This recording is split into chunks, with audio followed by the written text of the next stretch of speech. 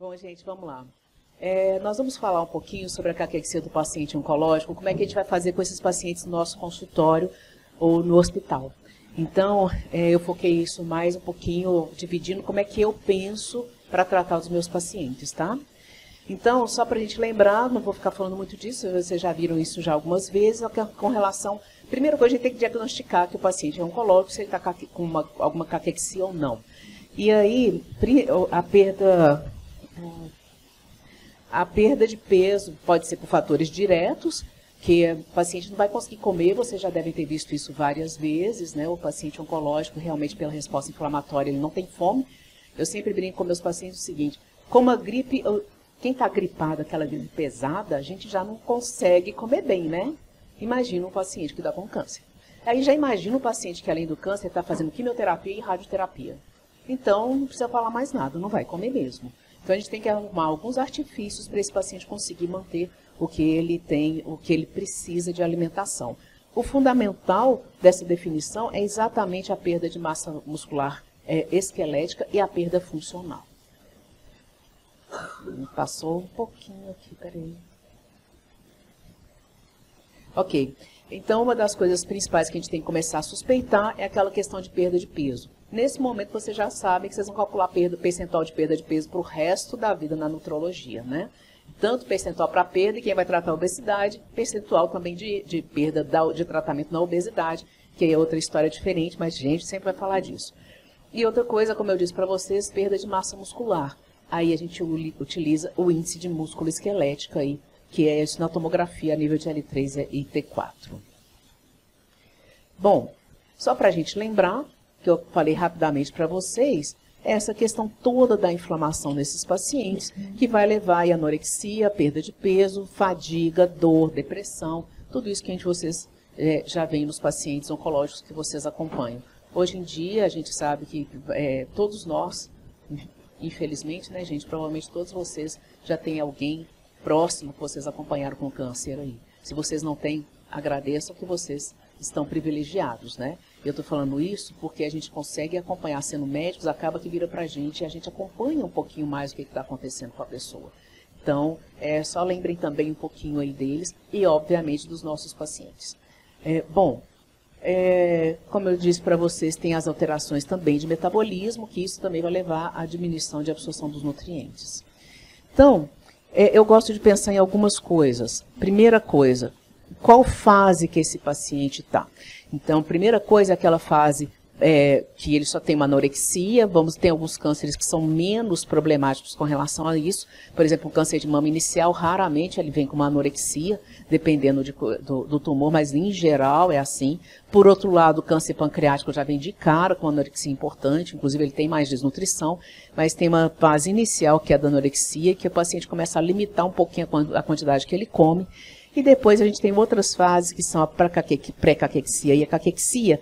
E aqui nesse artigo ele coloca como sarcopenia, mas na verdade é, essa sarcopenia ela já vem mais na fase da caquexia refratária. Então a primeira coisa é a gente pensar em qual fase que o paciente está. É só uma anorexia que eu consigo somente suplementar? É numa fase de uma pré-caquexia que ele já está mais inflamado, eu tenho que reforçar um pouquinho mais? Ou é numa fase de caquexia ou numa caquexia refratária? Então, é, primeira coisa, a gente vai pensar nos tratamentos pre, que vão predispor a ter uma desnutrição nesses pacientes, né? A própria inflamação, o tratamento como por si só. E esses pacientes, na maioria dos pacientes oncológicos, já, tem, já chegam para a gente com algum grau de alteração do paladar. É muito comum a gente chegar, o paciente chega e fala, ah, não, mas eu, é, é, o pão de queijo, eu, faço, eu pergunto já, como eu já sei isso, eu acabo perguntando. O pão de queijo que você come na sua casa, Minas, né, gente? Fala pão de queijo. O pão de queijo você come na sua casa, está com o mesmo gosto? A maioria deles vai falar que não. Então não é a cozinheira que mudou, é o paladar do paciente que mudou. Então aí entra uma outra coisa que a gente sempre tem que avaliar nesses pacientes, principalmente quimioterapia, se não tem monilíase, tá? Já anota aí que tem que pedir para botar a língua de todo mundo, além de que esses pacientes podem ter deficiências de vitaminas do complexo B, que também pode estar glucosite, e isso também altera o paladar, além de deficiência de zinco. Isso aí é, é motivo para outra aula, né? Deixa eu não vou tergiversar aqui. Gostaram do nome da palavra? É, bom, e aí voltando aqui, o que, que a gente sabe que esses pacientes vão passar por? Cirurgia, quimioterapia e por aí vai. E cada uma dessas desses tratamentos tem repercussões nutrológicas. E aí, o paciente que tem uma cirurgia, e aí vai ser no câncer de cavidade oral, por exemplo, ele vai ter uma disfagia, ele vai ter uma xerostomia. Então, cada um desses. Eu não vou passar por tudo isso, esse slide vai estar com vocês. E esse eu não tenho a referência dele para dar para vocês com QR Code, tá? Mas uh, o slide vai estar com vocês depois. E é interessante vocês verem cada tipo de câncer, cada tipo de tratamento, perdão, vai ter uma repercussão nutrológica que a gente tem que trabalhar com ela. Aí vamos. O que podemos fazer nessa brincadeira, né? Esse é o guideline do ESPEN. Vocês sabem que agora meu sobrenome, além de Tiamina, é QR Code, tá lá o artigo, tá? Só pegar aí e vocês me contam. E aqui, esse daqui é um guideline muito legal, que eles já fizeram o um algoritmo de tratamento. Então, você não precisa mais ler aquele tanto de recomendações. Eles já fizeram isso aqui em forma de gráfico, que ficou fantástico. Então, são algumas opções do que a gente pode fazer no paciente oncológico. Primeira coisa, ver, né, o que eu falei para vocês, triar quem está precisando de alguma ajuda ou não. E, como eu disse, na minha cabeça eu penso em qual momento do tratamento ele está. Ele está começando agora? Quanto tempo ele ainda tem de tratamento? Qual o risco dele desnutrir? Não que ele já chegou para mim, mas é o que eu gosto de falar de avaliação preditiva. Eu fico tentando adivinhar o futuro. O que, que ele vai passar? Posso esperar? Não posso esperar? Então são coisas importantes para a gente pensar, ok? O paciente chegou com câncer de mama in situ, vai para a cirurgia, mas se ela tiver tudo bonitinho, ela não vai nem fazer quimioterapia. É um nível de preocupação? Eu vou fazer uma pré-habilitação, pré-operatório, não vou ficar tão preocupado com o estado nutricional. É um paciente com câncer esofágico. Primeira coisa, já deve estar ruim. Quando chega para mim, já deve estar desnutrido. E ainda vai passar por quimioterapia, ainda vai passar por cirurgia, cabeça e pescoço, vai passar por radioterapia. Entenderam o que, eu estou falando para vocês? Porque você já tem que pensar o que vai acontecer lá na frente para estipular agora o que, que eu vou fazer, tá? É, bom, então, passando um pouquinho, essa daqui é a questão que a gente vai ver, a questão da, de, de nutrição oral, o medical nutrition, que nada mais é do que a, a, a intervenção a, de nutrição interal e parenteral, tá? seja, seja ou no hospital ou fora do hospital, e uma das coisas importantes que a gente sabe cada vez mais é a atividade física. Hoje em dia a gente faz pré-habilitação para paciente oncológico, com fisioterapeuta, e os pacientes que toleram vão para a academia mesmo, que seja exercício de resistência à alimentação. Bom, como eu disse para vocês, essa é a forma que eu gosto de pensar. Qual fase que o paciente está, porque isso vai definir a minha conduta no meu consultório ou dentro do hospital. Aquele paciente que está com uma perda de peso menor que 5%, e já está com um pouquinho de anorexia, um pouquinho de alteração metabólica, eu entendo que ele está na pré-caquexia. Então aqui o que eu vou fazer, muitas vezes, só eu começar a conversar com ele, olha, primeiro, tirar os mitos, né, gente? Os pacientes chegam para a gente e falam assim, ah, mas eu não posso comer açúcar, eu não posso comer gordura, eu não posso comer não sei o quê, porque o meu vizinho disse. É desse jeito que eles chegam para a gente. E aí, do tratamento, não pode comer açúcar, não pode comer açúcar no dia a dia, porque isso pode me levar a ter um câncer que é aumento de resistência insulínica, isso tudo. Mas durante o tratamento que a gente tem de estudo é desnutrição é que mata mais, desnutrição é que dificulta o tratamento. Então, primeira fase, na pré-caquexia, é explicar para o paciente, não estou falando que ele vai comer todo dia, ficar comendo um montão de açúcar não, viu gente? Mas na pré-caquexia a gente vai esclarecer dúvidas, vai fazer orientação, e se necessário aquela concentração calórica proteica que a gente fala, que, a gente já conversou algumas vezes, de colocar mais lipídio, colocar vai tomar alguma coisa, vai comer o um café com leite, bota mais o leite em pó junto com o café com leite, porque você está aumentando a concentração calórica proteica naquele, naquele alimento, que muitas vezes o paciente não consegue comer muito. Então, quanto mais a gente concentrar, melhor. E, quando é necessário, a gente abre mão mesmo da suplementação oral, tá? É, e aí, tem uma outra coisa, é, tem aquela, aquela, essa divisão que eu falei para vocês, da caquexia, refra, da caquexia, da refratária, e aqui tem uma outra coisa que é importante também para vocês já começarem a pensar. No paciente com pré-caquexia e caquexia, é mais tranquilo. E a gente começa a utilizar é, algumas escalas para avaliação de função desse paciente. Para a gente tentar entender o prognóstico desse paciente e saber em qual momento que ele está.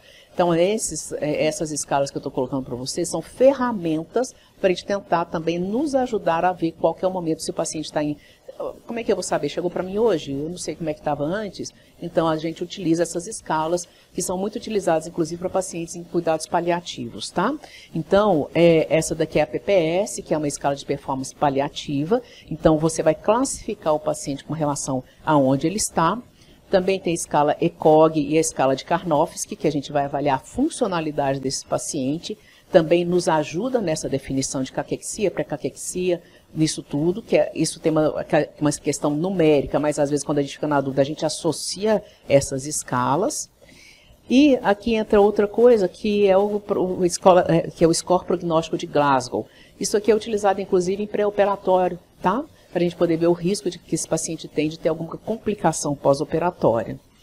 É, e aqui a gente já vê, gente, eu estou passando essas coisas rapidinhas, porque é interessante vocês verem, ninguém vai decorar, decorar essas escalas agora. Então, é uma coisa eu também não tenho decorado, eu tenho salvo no meu notas no celular, que quando eu preciso eu vou lá e vejo. Com o tempo a gente vai acostumando. Mas é isso aqui depois é legal vocês terem para ter essa avaliação, tá? E no final das contas, o que, que a gente quer saber? A gente quer saber isso aqui, ó. Qual o tempo de sobrevida que esse paciente ainda tem? Porque um paciente que tem menos de três meses de sobrevida, posso fazer o que tiver que fazer, que muito pouco provável que eu vou ter alguma melhora nutricional desse paciente. Então, por isso é que é importante a gente determinar. Por quê? A gente fala, vai passar uma sonda, aí a família fica ansiosa, o paciente não quer passar a sonda, ele começa a ter diarreia, você tem que passar, você tem que colher exame todos os dias para um paciente que não vai viver três meses. Certo? Então isso é importante. Ou então o paciente tem uma sobrevida de anos e é um câncer de esôfago, e que na verdade eu tenho também um pouco, que é um fator confusional, se ele perdeu muito peso, ele perdeu peso também da desnutrição específica e não só do câncer. Então eu posso nutrir um pouquinho, daqui dois meses, um mês, dois meses, eu vou reavaliar para ver se ele melhorou alguma dessas funções, porque eu já vou mudar a classificação dele para eu poder ver que tanto que eu vou investir nele ou não, ok? Bom, então pensando aqui, igual eu falei para vocês, na pré-caquexia. Está muito rápido, gente? Está dando para seguir? Então, todo mundo está dormindo. Então, vamos lá. Está dormindo não, o pessoal está prestando atenção. É porque eu gosto de provocar de vez em quando.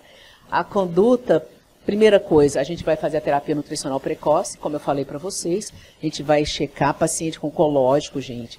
Por favor, já chega e já avalia e já fala o que pode acontecer. Mas eu não perdi nenhuma grama. Preocupe-se, peso, monitora peso para não deixar perder. Porque é o impacto, inclusive, de, de intolerância à quimioterapia e radioterapia se o paciente começa a perder muito peso, tá? É, os focos do tratamento inicial como eu disse para vocês, a caquexia é uma resposta inflamatória. Então a gente vai focar na resposta inflamatória. Atividade física, que a gente já sabe que é uma das atividades, que é o que é um do, da, das, é, das condutas mais anti-inflamatórias que a gente tem. Só um detalhe, no paciente que está nessa fase da pré-caquexia e não está perdendo muito peso e consegue comer bem, beleza, manda ele fazer. O paciente está perdendo peso, ele tem que melhorar o peso primeiro, estabilizar esse peso ou então começa a atividade física com vocês vigiando, porque se ele faz atividade física, ele aumenta o quê? O gasto energético. E se ele está comendo pouco, o que, que vai acontecer com o músculo dele? Alguém sabe? Paciente que não está comendo o suficiente, está fazendo mais. Vamos pensar no paciente de nutroesportiva. O paciente está lá fazendo exercício pra caramba. Aí começa a cortar. O que acontece? Perde musculatura. Ok? É a mesma coisa aqui, um paciente oncológico, se começa a fazer atividade física, aumenta gasto energético, está comendo pouco, o que, que vai acontecer com o músculo dele? Vai perder, vai piorar a desnutrição. Então, esse é o cuidado que a gente tem que ter com a atividade física o tempo todo. E, além disso, a gente vai focar nessa questão do metabolismo glicídico. Tem alguns trabalhos de metformina, mas não tem nada muito sistematizado para a gente utilizar, então a gente não utiliza, até porque uma droga pode dar mais efeito colateral, mais náusea, mais diarreia no paciente que já pode ter é, mas eu queria citar isso para vocês, e focar também nas intercorrências do tratamento que esse paciente pode ter. As diretrizes que a gente tem são de 30 a 35 calorias por dia, de 1,2 a 2 gramas por dia. Se são suficientes, a gente tem que ver de acordo com o tumor. Alguns tumores gastam mais, outros tumores gastam menos. É, aqui, só exatamente mostrando o que eu falei para vocês, que alguns tumores têm essa diferença com relação ao gasto energético. Uma das coisas importantes para a gente lembrar, que é aquilo que eu estava falando, que cada momento é um momento. Uma alimentação saudável, a gente, a gente vai comer carne vermelha uma, duas vezes por semana. Do paciente oncológico, quanto menos carne vermelha ele come durante o tratamento, pior a mortalidade dele. Entenderam como é que é diferente? Tá? São hiatos, são momentos diferentes da vida do paciente. É, então, a gente sabe que uma oferta proteica maior vai melhorar esse paciente. Então, o que, que eu vou fazer no pré-catexia? Suplementação oral, concentração calórica proteica, monitorar peso e atividade física. Certo? Isso aí é o message to go, tá? Como é que é, para guardar, para lembrar. E então essa tabelinha aqui está resumindo essas coisas que a gente conversou. É, e aí entra aquela questão que eu falei, só suplementação, eu, adianta eu dar o suplemento se ele está vomitando? Adianta? Não. Adianta eu dar suplemento se ele está tendo diarreia? Não. Como a gente já conversou, quando a gente dá alguma coisa para os pacientes, ele precisa absorver. Comer não é só comer, botar na boca, é chegar na célula. Então a gente vai trabalhar em cima disso, tá? Então a gente vai ver é, os alimentos que esse paciente tolera, também avalia te, a temperatura e a consistência, para ver se o paciente está tolerando. Se ele está com mucosite, geralmente os alimentos mais quentes ou muito gelados ele não tolera. A consistência, se tiver muito pedacinho, machuca a boca, ele reclama. Se tiver muito sódio, ele reclama, não dá conta de comer. E a gente vai otimizar antieméticos e antidiarreicos. É, nesses pacientes que têm mucosite, que é muito comum na grande maioria dos pacientes, o resultado fantástico que eu já vi na minha vida, o melhor é a laser terapia. Então, a gente tem uma dentista lá no hospital e quando os pacientes estão no meu consultório, eu recomendo para ela, porque realmente a melhora é muito significativa com relação à dor e o paciente consegue comer. Às vezes ele ainda queixa se a mucosite chega em faringe, porque o laser não chega lá, mas é, faringe laringe, mas a, na boca melhora bastante. E se é diarreia, a gente abre mão e investiga tudo. A gente vai ter uma aula até de diarreia amanhã. Amanhã? É. E aí, muitas vezes, se a gente afastou qualquer tipo de infecção, a gente acaba utilizando loperamida, tá? É, aqui é que tem o que a gente vai fazer para cada um. Para cada um desses pacientes, tá bom? Então, o paciente, por exemplo, que tem síndrome de dumping, foi um paciente que fez a gastrectomia, a gente vai orientar esse paciente como é que ele vai comer. A questão de porcionar a alimentação várias vezes ao dia paciente, igual eu falei para vocês, que tem complicações orais, vai ver a questão da laser terapia ou da crioterapia. É, uma das coisas que alguns pacientes utilizam são bochechos com, é, gente, antissépticos bocais, mas sem álcool, que é uma das coisas que a gente tem que lembrar e orientar para o paciente para não piorar a mucosite, tá? E é, com relação à digeusia, à digeusia, a gente vai ver a questão do zinco, muitas vezes eu doso o zinco desses pacientes, é, e a gente, é, uma das coisas que a gente faz é fazer, pede para a família para fazer com mais, com mais tempero. Por exemplo, hortelã, vai usar mais alho, vai usar mais ervas, que as ervas não machucam o sistema mucosite. E o gosto fica mais tolerável, tá bom? E aqui, outras alterações que a gente faz, que a gente, as condutas que a gente faz, que é a perda de dente e cárie, a gente tem que tomar cuidado com a temperatura. A xerostomia, geralmente os pacientes precisam tomar, sempre estar tá com a comidinha mais molhadinha para ficar mais fácil para comer. É, e aqui, náusea, uma das coisas que eu uso muito é gelo. O paciente tolera muito gelo, muito picolé, que melhora a náusea, tá? Eu brinquei igualzinho náusea de mulher grávida, né? Quando chupa gelo, dá uma melhoradinha. Então, isso aqui é, é importante para a gente lembrar. E a diarreia. Bom, é, uma das coisas importantes é a disfagia, que esses pacientes, depois da proquequexia, vai para que esses pacientes têm disfagia? Alguém sabe me falar? Por causa da sarcopenia. Exatamente. Então, o paciente, se ele perde musculatura, a nossa deglutição é músculo, gente. Se eu, é igualzinho engessar uma perna, perde a musculatura e começa a ter engasgos. Então é importante a gente conversar sobre essa questão da, da disfagia. Então essa fraqueza da musculatura por causa da, da, desnutrição, esse paciente muitas vezes ele perde essa percepção do alimento na boca por causa da mucosite e aí muita, quando o paciente já está um pouquinho mais grave, ele vai mastigar ele cansa. Então é muito importante a gente ter uma fonoaudióloga trabalhando junto com a gente, tá? É, aí a questão de sempre colocar o paciente assentado e vou verificar a, a deglutição dele, aí a fono realmente faz um acompanhamento melhor. Então, assegurar a oferta calórica proteico adequada, a gente tem duas formas de suplementação, ou com a própria alimentação ou industrializada. A alimentação, a gente vai falar sobre a frequência alimentar, eu brinco é uma vez por dia. Começa de manhã e termina de noite. Belisca toda hora, porque eles não toleram muito volume. Então, toda hora vai sentar, ah, não, ele gosta de ver televisão. Deixa um pratinho do lado. Tudo que a gente fala para não fazer na obesidade, a gente vai fazer para esses pacientes. Deixa um pratinho de lado com lanchinho, com suquinho, para ele poder ir beliscando toda hora, tá? É, então, a questão do, da concentração, e aqui Essas, vocês sabem todos, né, esses iogurtes com whey, essas bebidas lácteas com whey ajudam demais. Os pacientes adoram, são vários sabores diferentes. Então, é uma ótima forma de dar proteína para esses pacientes, tá? Então, eu tenho uma boa resposta com relação a isso. E os suplementos, aqui tem vários suplementos que a gente tem no mercado que a gente pode utilizar dependendo de cada paciente, da tolerância de cada um. Indo aqui para a fase da caquexia.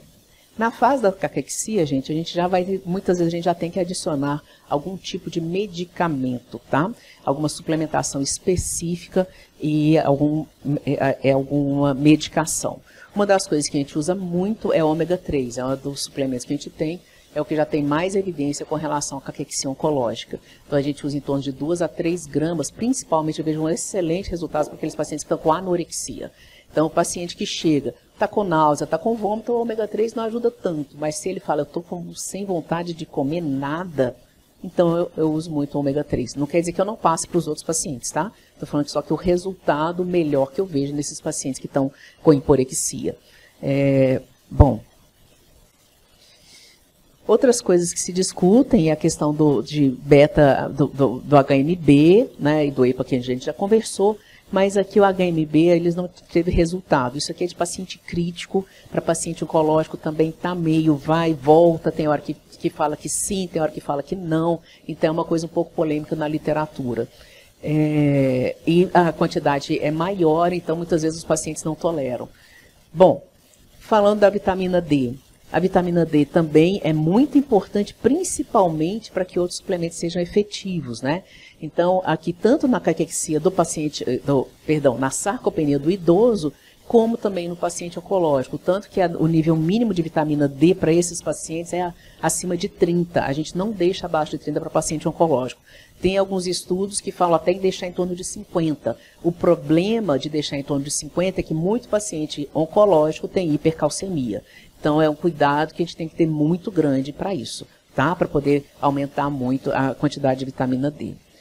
É, bom, da vitamina D aqui, o que se coloca é que muitas vezes ela sozinha não seria, não teria tanta eficácia, mas se você associa com uma oferta proteica adequada, esse paciente pode ter uma melhora também dessa questão da, da, da fase da caquexia, de uma melhora de massa magra, tá? Aqui, na verdade, é um resumozinho, isso aqui, esse artigo é mais da é de caquexia e sarcopenia. Então, aqui para vocês verem, tem inclusive as doses, tá? Então, alguns deles são mais específicos para a sarcopenia do idoso, mas é o que a gente usa para os pacientes é, oncológicos. Essa questão da vitamina D é muito importante. Outra coisa é polivitamínico, ele não está comendo nada, ele também vai ter deficiência de outras vitaminas. Então, muitas vezes a gente associa o polivitamínico só tomar cuidado com relação à função renal, porque algumas vitaminas do polivitamínico são de depósito. Então vocês têm que tomar cuidado para ver se não vai ter intoxicação, principalmente com relação à vitamina A, que o limiar de toxicidade é muito pequeno. É, com relação ao ômega 3, está aqui e a proteína que a gente já falou. Bom, não se assustem, isso aqui é só para falar o seguinte. Isso aqui é a via inflamatória toda da caquexia. Cada pontinho vermelho são possibilidades de uso de drogas para tentar melhorar essa questão da caquexia, da inflamação da caquexia, ok? Então, a gente tem, inclusive, por exemplo, uma tentativa de diminuir o gasto energético com beta blocker. Essa, essa, essa figura é um pouquinho mais antiga, é de 2015, mas ela é muito bonitinha para a gente poder enxergar esses pontos. Se alguém achar uma mais nova que tem isso tudo, manda para mim que eu vou amar. Mas, bom, é, então cada lugar tem essa, cada parte dessa questão metabólica tem uma droga que a gente poderia tentar. Uma das coisas que sempre me perguntam é sobre o megestrol.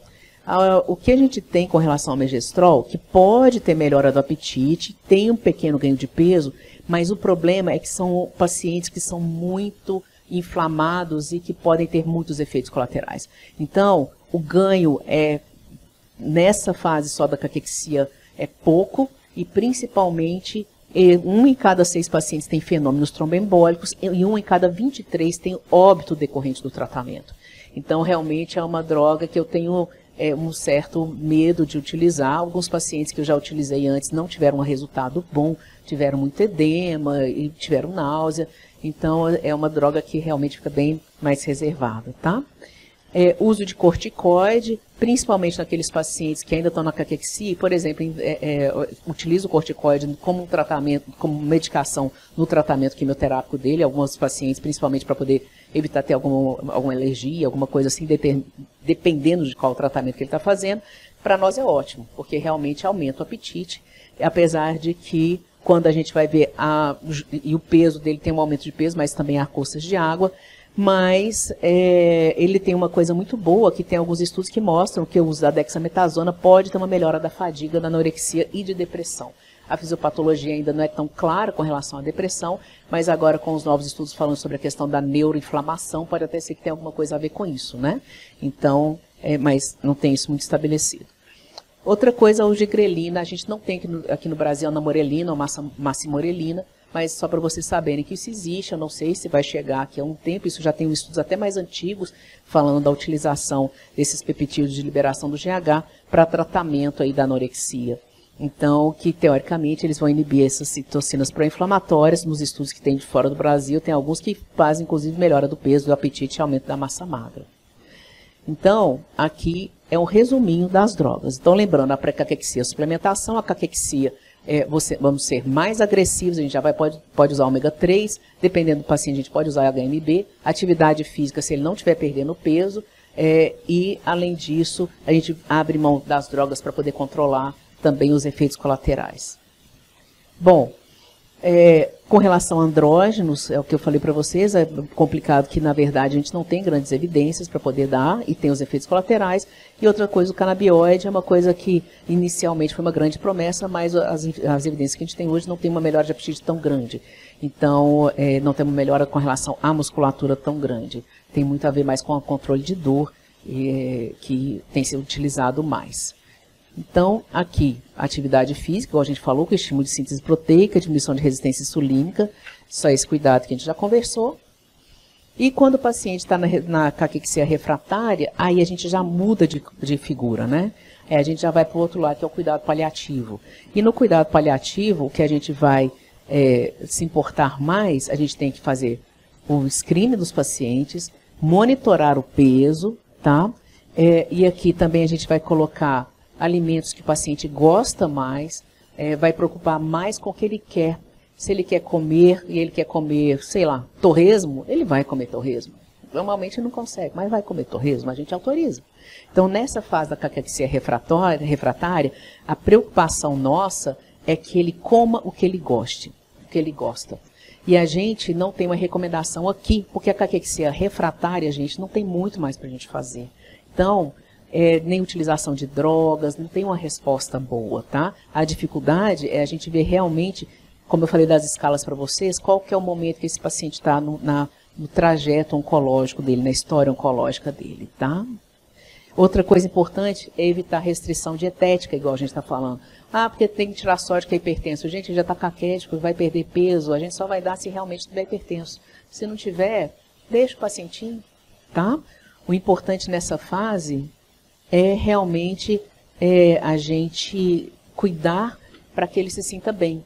Então eu vou ficar para escrever muita vitamina, ômega 3, vitamina B12, e vou falar para a família que tem que comprar isso tudo? Não vou falar isso, é um custo a mais para a família. É uma obrigação a mais para o paciente. Às vezes o paciente já está tomando vários comprimidos no dia, ele quer mais um, de B1, e está pré-caquético, tá? Pré-caquético não, perdão, tá já em caquexia refratária, então a gente não faz isso. É, e uma das coisas importantes é a questão. Opa! Uma das coisas importantes é até mesmo a questão da sonda. Então, muitas vezes, nesse momento, a gente passa a sonda só se for alguma coisa tipo, ele precisa de medicamento, ele não está conseguindo engolir, mas a única via que a gente tem é via sonda. Então, a gente vai passar a sonda especificamente para isso. Tá? A gente não vai passar a sonda para tentar nutrir esse paciente. E aí, vai ficar em dieta de conforto. Essa dieta de conforto é o paciente está dormindo? Não dá. O paciente está acordado? Dá. Ah, mas eu vou precisar dar suplemento? Não, não vou fazer parenteral, não vou fazer isso. Uma das coisas que às vezes a gente faz parenteral é que o paciente está com obstrução maligna e precisa ficar suspenso, mas tem, é, chegou com o diagnóstico de obstrução maligna e era o primo diagnóstico e nunca tratou. Então pode ser que esse paciente tenha uma chance, tá? Mas aí a gente tem que ver o conjunto e discutir isso com o oncologista dele, tá bom? Então, o objetivo é convívio social, é acolher o paciente. O objetivo não é nutrir. O objetivo é acolher o paciente e acolher a família. Ah, Simone, você já prescreveu suplemento para paciente oncológico? Já. Porque a família vira para mim e fala, nossa, ele gosta tanto do suplemento, é a única que, coisa que ele come o dia todo. Claro que eu vou dar, gente. Mas eu vou dar sabendo que não vai melhorar. Tá? A gente não tem essa questão agora, nesse momento, de ter algum, de almejar alguma coisa com relação a isso. Até porque a gente, é, bom. E outra coisa é a parada voluntária de comer e beber. Isso daqui é uma questão ética mais importante. O mais importante para nós é que a gente não encoraje isso, porque isso é considerado como uma tentativa de suicídio. Então, é, a gente, o importante é a gente entender, acolher o paciente, não encorajar, não ficar prometendo que ele vai melhorar se ele comer, tá? Então, o nosso objetivo aqui é a gente escutar, outra, não falar para ele, vamos continuar desse jeito, né? O objetivo nosso aqui é vou ouvir e vou negociar com esse paciente e a gente chama sempre a psicóloga junto para poder ver o que a gente pode fazer. Bom, é, esse daqui, para vocês conhecerem, não tem QR Code desse, tá, gente? Esse aqui é o site do NCCN.